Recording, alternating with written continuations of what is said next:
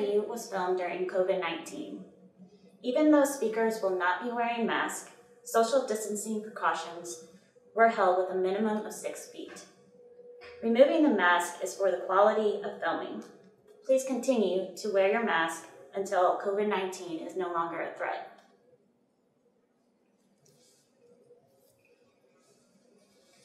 Hello and welcome. My name is Katie Smith. I'm joined with Dr. Susan Hammonds White, and we are going to discuss coping with the holidays after losing a child or children and how um, we can she can discuss how to maybe have some good practices or just anything that will help you during this difficult time. Susan, how can families still find a sense of normalcy during the holiday season?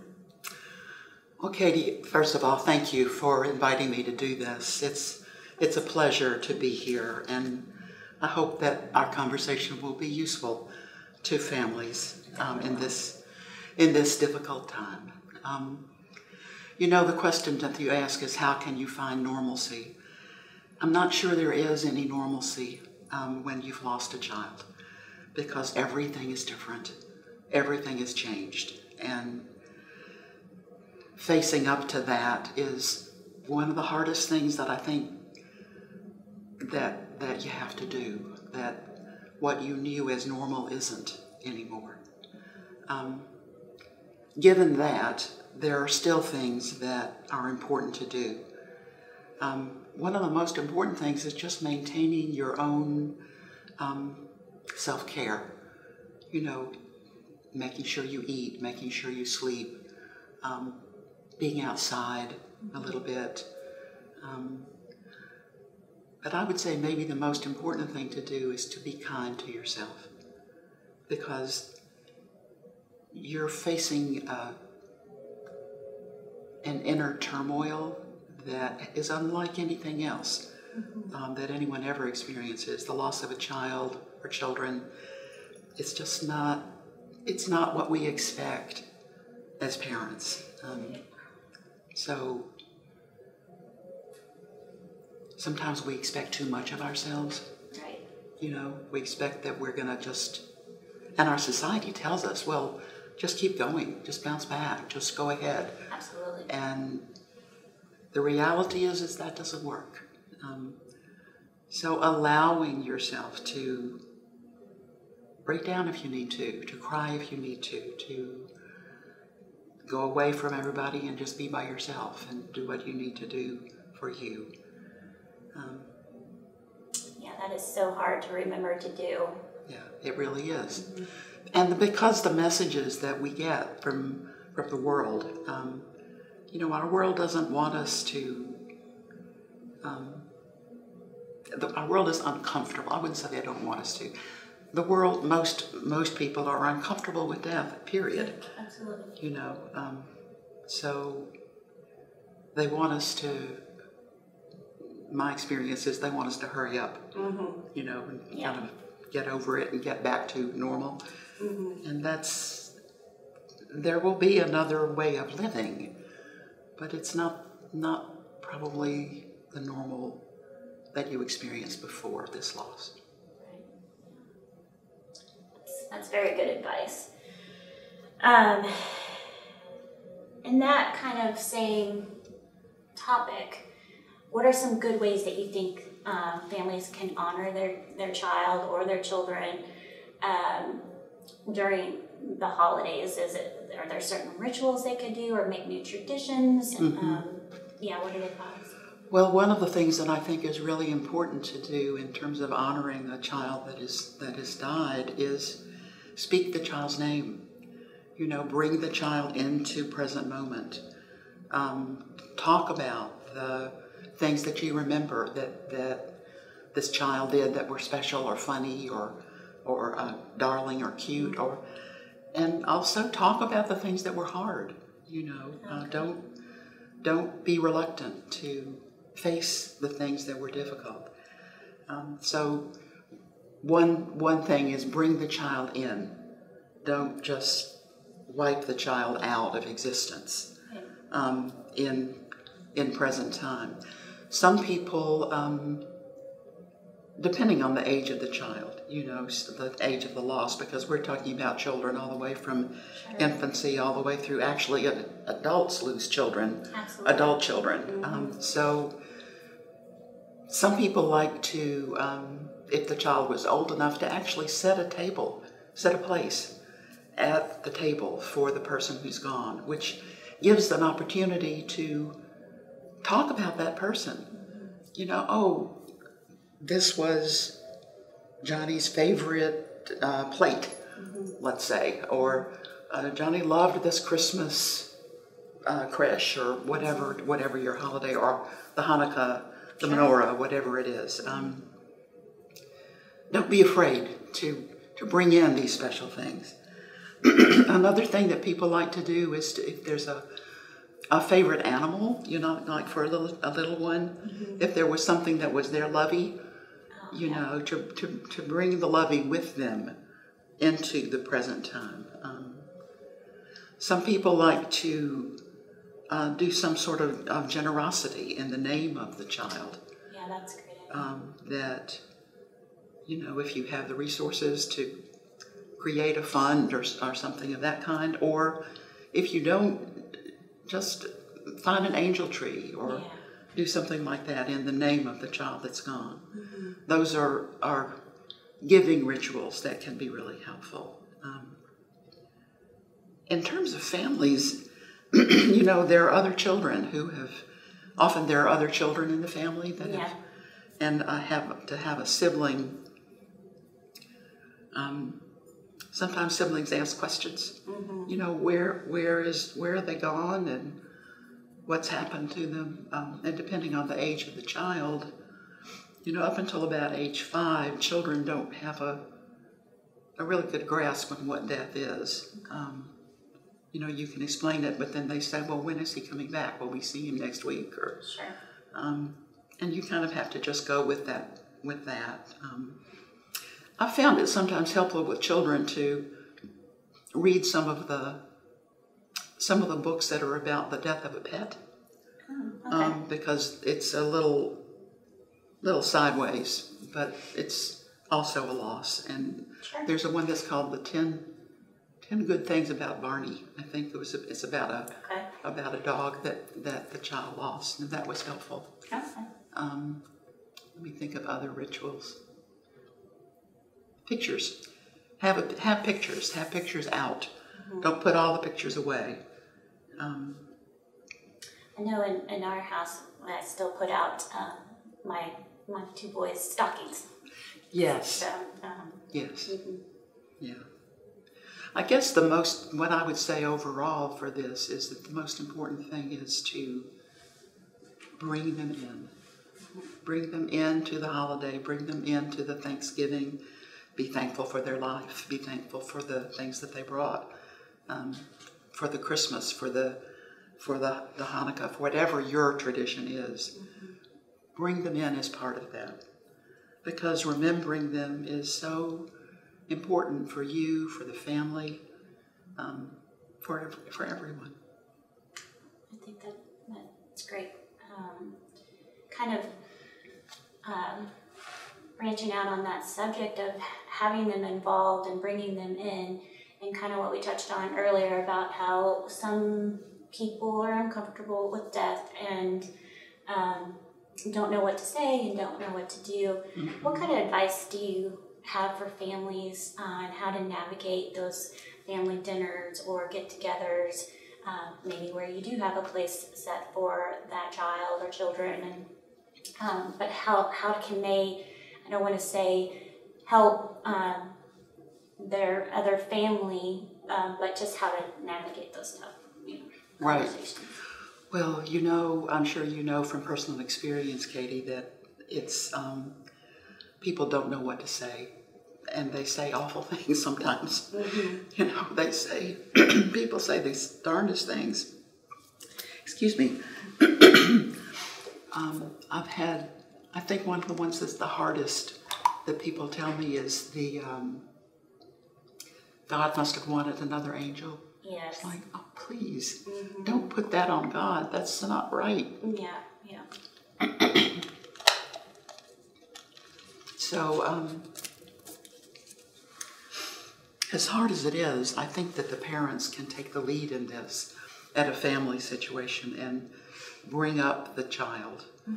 And maybe they need to say, This is important to us. We want to talk about the child that we lost. Um, It's okay to do that.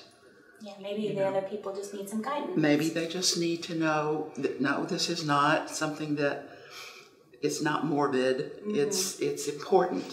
So we we invite you into this opportunity to include our child um, because our child is still part of our family, Absolutely. even though our child is gone. So um,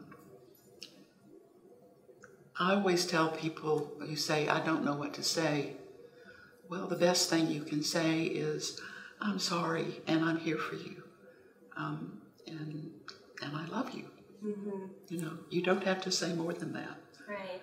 Absolutely. You don't have to explain or go off into any kind of religious understanding because you don't know what the other person's way of understanding Sure. that world is. Um, so just presence. And I always say soft eyes. Soft eyes. Soft eyes. Um, soft eyes and a soft face make a huge difference in um, being with people who are grieving. Sure. Yeah. Body language is important. Body language matters. hmm I like that. And I do feel like some people do need guidance, and um, and everybody grieves differently. So um, what they think may work for everybody, it, Right. it's really just an individual on. You know. Right. And what what you just said, I think, is so important because everybody's grief experience is theirs. It's unique. You know, some people need to be surrounded with people all the time and talk about it, and some people need to be alone and go off and just be with themselves for whatever time they need. And it may go back and forth. I mean, you might Yeah. need to be totally by yourself for a while and then just be surrounded. Absolutely. But it's it's your journey. It's each individual person's journey, and it's not. Um, I, I always feel distressed when I find people giving advice about um, this is the way to do it, yeah. because there isn't a way. There is your unique, particular way, And that's okay. and that's okay. That's partic- per- perfectly okay. You know, the metaphor we've talked about often, Katie, is the metaphor of, of the ocean, of the storm. Yes. You know, grief is so much a storm, um, particularly in the early days. There's just a, it's waves coming at you over and over and over and over, and it feels like you'll never be free, never be out of it. Um, and but after a while, the storms do calm a bit, and they're not so frequent. The waves don't overwhelm you so often, and they they do ebb away. But there are going to be times when they come back with a lot of force, and usually those are anniversaries Yes. or holidays, uh, or sometimes just the way the the way the weather looks, Right. or a smell will remind you, Yeah. and that you'll feel that that upwelling of the storm of grief. But it does pass Yes. over time. Yeah, I think that metaphor is so important. It really does do a good job of kind of explaining how the feelings can kind of come and go, and um, some some storms are stronger than others. And Very much so. That's really good advice. What would you say, and this may be difficult to answer, but how can parents still find some joy and peace during the holidays? Um, and maybe, maybe it's different levels. Maybe there's, you know, I mean, I know that that can be a hard thing to find when you're missing and just craving for that one that you lost. So.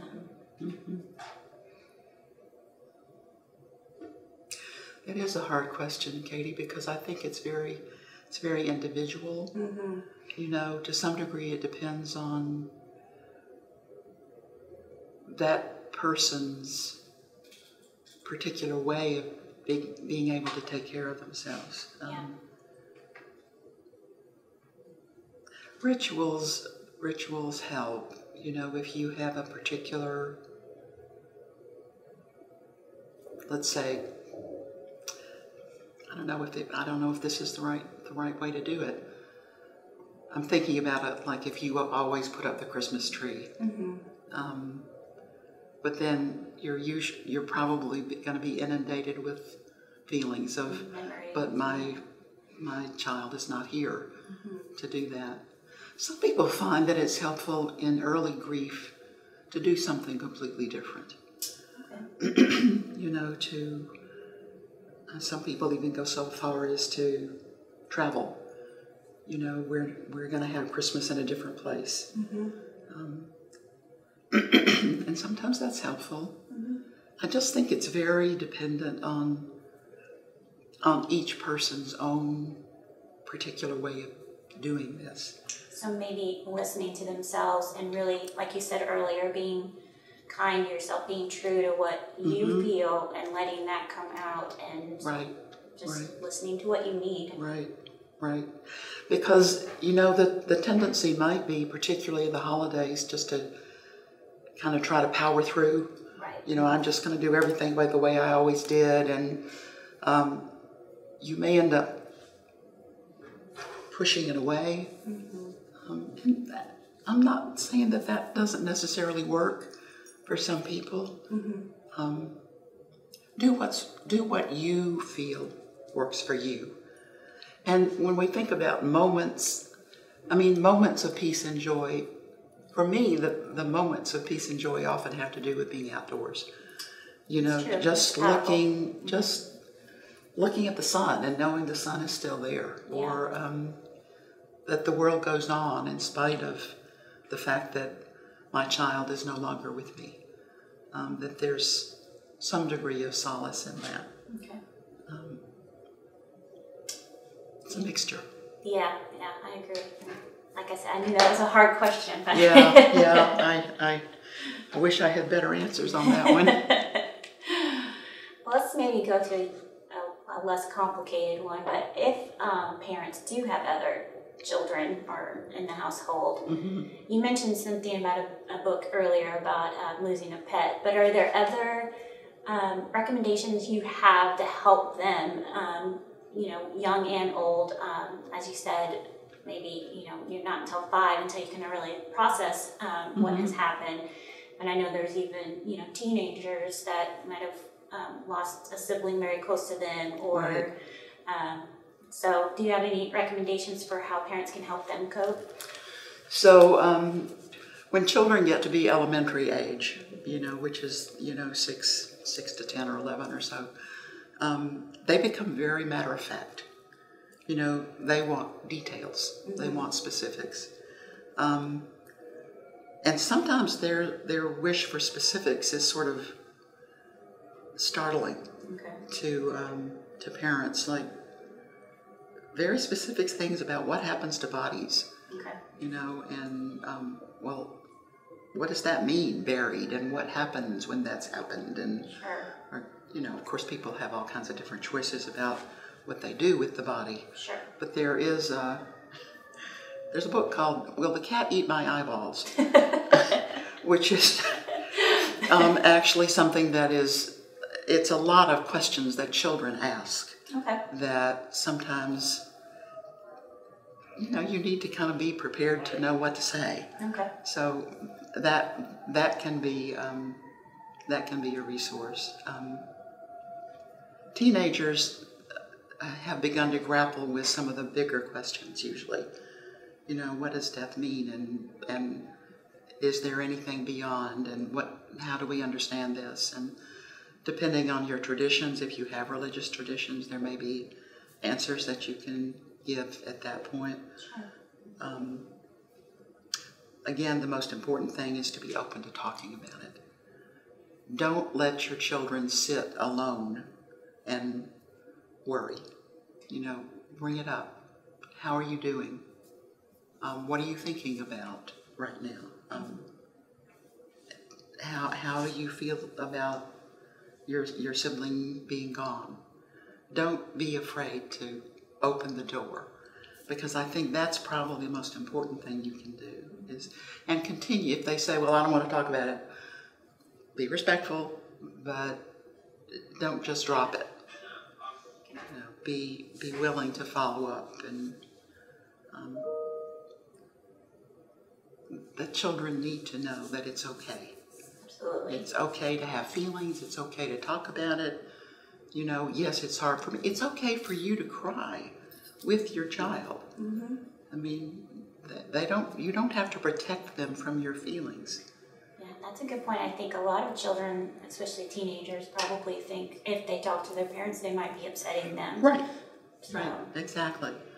And the over and over and over again, the message is, your feelings are normal. It's okay. Well, typical.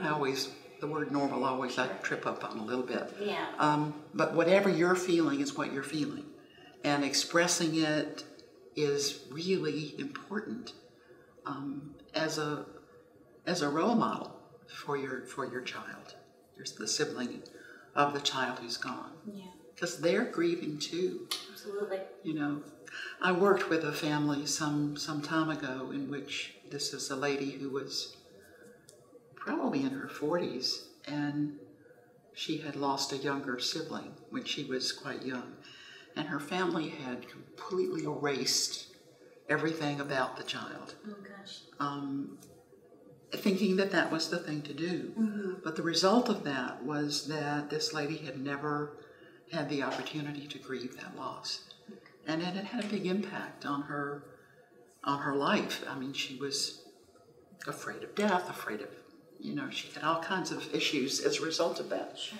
So being able to, you're giving your children a real gift by um, being able to deal with your own grief and and sharing some of it. I mean, that doesn't mean that you pour it all onto your child. Sure. You know, your child is not, your child's job is not to shore you up. Um, but it's important for you to show that, yes, the feelings are okay. That's really, really great advice. I think parents want to be strong for their children, and I think children want to be strong for their parents. Precisely. So, yeah, that's, Yeah. that's really helpful. Yeah. I know we've, I was just thinking that one of the things that sometimes is helpful for both adults and children is to do um, writing letters. okay, You know, to write a letter to the child that's gone, um, and then share the letters to with each other. Um, this is what I want to say. But this is what I would like to say. Um, and this is what I would like to say to you, my child. And this is what I'd like to say to you, my mom or my dad, about how I'm feeling now. Sometimes it's a little easier to do it in writing than, than so directly. yeah, I think that's an, a very good option if either one is not comfortable um, Right. with, you know, face to face. So uh, that's very helpful. I know we've talked a lot about the holidays today, and you've given such great information and advice. Um, I guess maybe just the last question, besides anything that you've already recommended, is there anything that you really want families to remember as they go through the holiday season? Remember that it's a challenging time. Um, remember that remembering your child is a really lovely and important thing to do in the midst of this holiday season. Um, and most of all, remember that your individual way of dealing with your loss is okay. It's okay whatever it is that's going on for you, because your journey is your journey. One thing that I would add, Katie, is that um, parents often grieve differently. you know, men and women, stereotypically speaking, this is a pretty broad stereotype, but Sure. In our society, women are given more leeway. to have and express feelings um, than men are. This does not mean that men don't feel extremely and profoundly, deeply about these losses, but they may not be given the opportunity to feel comfortable expressing that. Um, women, we, we tend to be okay talking face to face.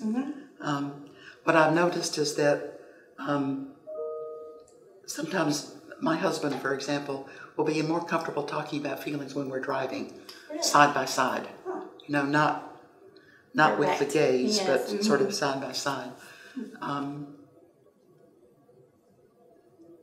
so I would say to be respectful of each other's journeys, you know, and not to say, well, you you obviously don't feel anything because you're not crying. Sure. You know, Absolutely. that's that's not true. That's not true at all. There is a little book that I think can be helpful with the holidays. This is called The Empty Chair Handling Grief on Holidays and Special Occasions. Um, it does have some spiritual pieces to it, which if you're not spiritual, you can you can skip over. But I think it does have some really good ideas that might be a resource for, for families. That's wonderful. Thank you. And I think all of your advice is so helpful. So I really do appreciate you joining us today and discussing this very difficult topic. I'm really glad to be here, and I hope it's useful.